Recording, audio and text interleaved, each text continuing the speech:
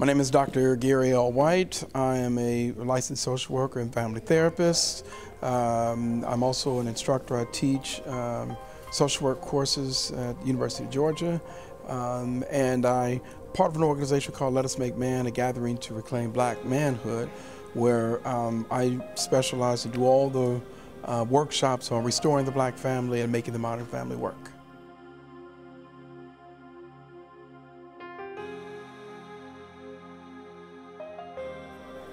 Um, it was really sparked right after the Million Man March. Um, it came back to my agency at the time, and they weren't feeling the issue of fatherhood. And I was a new dad uh, with my wife for 22 years, but I was a new dad. And what really kicked it off is when my daughter was born um, at the hospital. Um, uh, they had all the paperwork for my wife to fill out. And um, you know, the, put the fingerprint uh, and my wife's fingerprint and then the daughter's fingerprint, and I wanted to write my name everywhere my wife did, and they said that was not necessary. And I said it was necessary. And then they took my daughter's foot and they put it on that little thing, and they had my wife's name. So everywhere my wife put her name uh, on the birth records was my name. Um, that became such so problematic that the hospital administrator came in. Um, and it was there, believe it or not, in that little moment on uh, February 16, 1994, um, they gave birth to um, uh, recognizing that fathers, particularly African American fathers, should not be marginalized and should be literally at the center. So that sparked much of my work um, around fatherhood. The biggest issue I wanted to tackle was the misnomer, the failed beliefs they had about African American fathers. Um, this period of time, 94 and 95, is when the notion or the concept of deadbeat dads became popular. Uh, it became popular like a rap. Everybody was saying it, even though it was not well defined. Um, so for me, um, in hearing that and understanding that, that kind of kicked it on, uh, kicked it forward for me, saying that this is not the paradigm of African American men. And so, what kicked it off for me is when I started doing my research and, and teaching.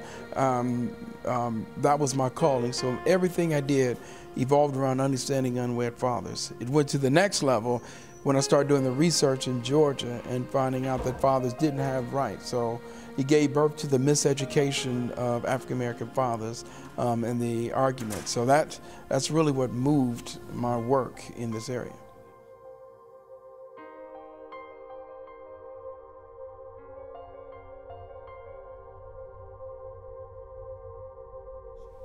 Well, um, at a couple levels, I, I, think the research misinforms the issue on one hand in terms of, one, how they define uh, what a responsible father is.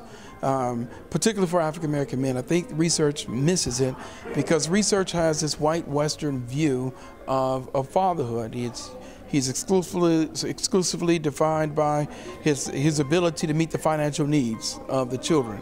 And that's the single dimension that drives what um, in society it under it, it defines to be a responsible father. Well, the problem with that is historically African American men have been the last hired and the first fired. Um, uh, African American men have always led the unemployment rate. So therefore, if a man's financial ability is the single determinant of responsible fatherhood, then structurally speaking, it is impossible for him to be the father that he should be. So therefore, the the opposite side of that, which is the work that you're going to hear Andrew Billingsley and Wade Nobles and Na'im Akbar and Jawanza Kunjufu, you hear them talk about is understanding what it means for African American fathers, that physical involvement part, the, the namesake aspect of it, understanding the importance of the ritual of getting your hair cut for the first time. These are elements and dimensions that are not considered. I think the other gap in the research where they miss it is understanding that a father not in the home does not take under the consideration his proximity to the home. And so if we just defined um, um, father involvement as present in the home versus absent from the home, then we have a, we again have missed the mark. And you'll see a lot of research that talks about women are the number of children that are being raised in single parent female headed households and all the research that talks about the absent fathers. But they don't make a distinction concerning his proximity to the home. And I talk about that in my dissertation as well.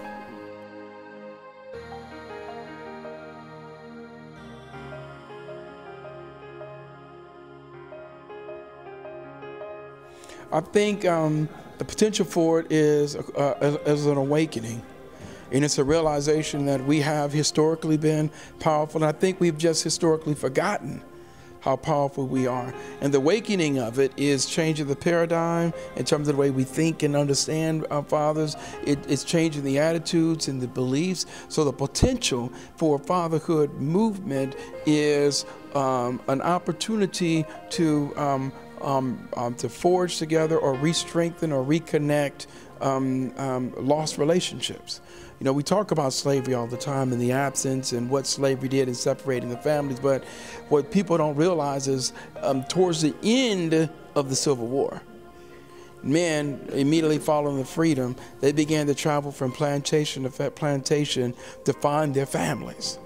And so imagine the power of the fatherhood movement where we then have men, once we've achieved it, start going from project to project or community to community, just as they put, just as our ancestors put those children on the horses and their families on the horses. Imagine, I don't care if they're getting on the MARTA, I don't care if they're getting on the train, I don't care if they're getting on the bus, but the power of this movement it's going to result in men reconnecting and building those relationships with their mothers. And their challenge, of course, is in many regards um, dealing with a structure or system that does not have faith or a structure or system that is defined what father involvement is to be like. And, and that's a big challenge that we have.